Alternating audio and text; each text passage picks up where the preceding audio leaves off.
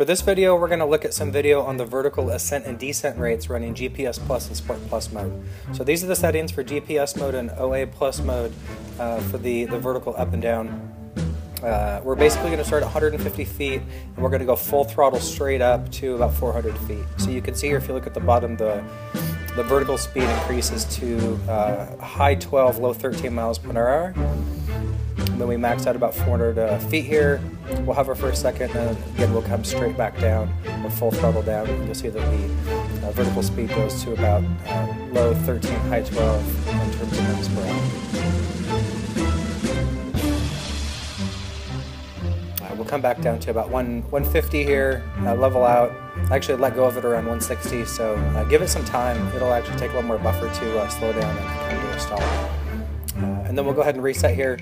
We'll switch over to sport mode, and then we'll test the ascent and the descent rates on sport mode.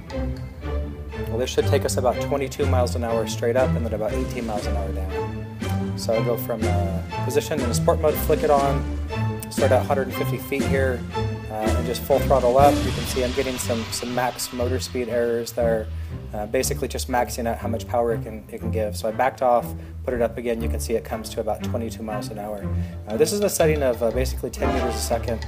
Um, I don't think we actually need it that high to be honest. I'm going to play around on Sport Plus mode, uh, backing that off a little bit and see if I can get rid of some of those, um, those motor speed errors. But it goes up really good, That's very fast. When it comes straight back down, you can see it's coming up around 18 miles an hour, high 17s. Again, it goes down really quick, so be careful there guys.